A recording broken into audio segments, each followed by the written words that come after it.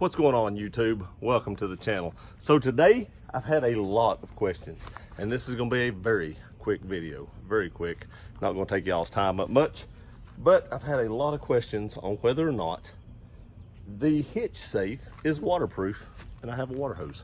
Um, I don't know myself. I've never washed the vehicle since I've had it on it. I've never tried it. I don't remember reading it.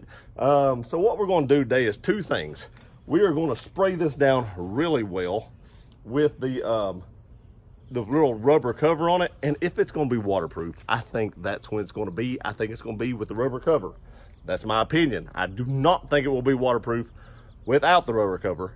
I may be wrong because I am going to spray this all over with the rubber cover on it. And if it is waterproof with it on, we're going to take the rubber cover off and try it again. I don't think it will be waterproof. I don't think you're going to want to put anything in it that you would want to get wet. That's just my opinion, but let's find out. Turn the camera around, show you what's going on.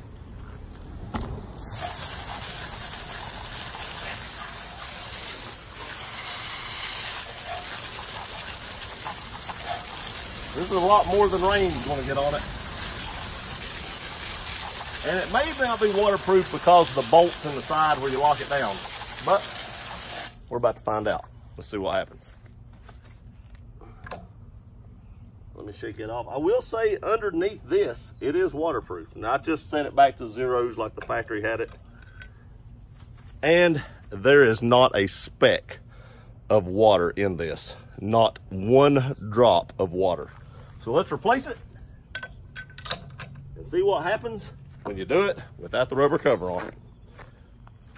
I think it'll get wet, my personal opinion.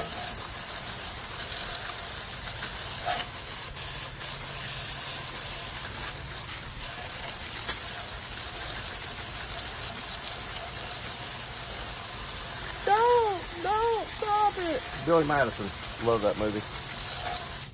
If you know, you know. Let's see what happens.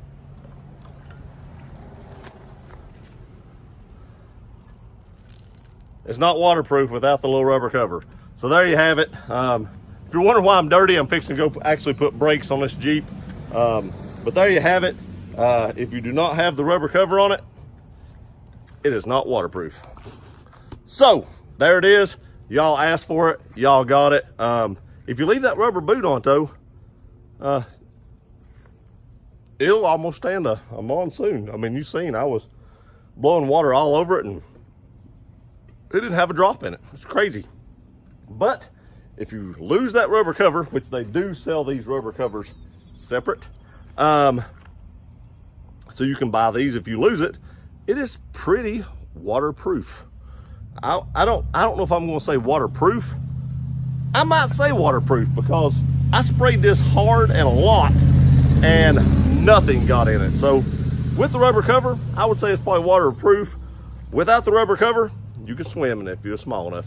Appreciate y'all watching this video. Please like, share, and subscribe. See you guys next time.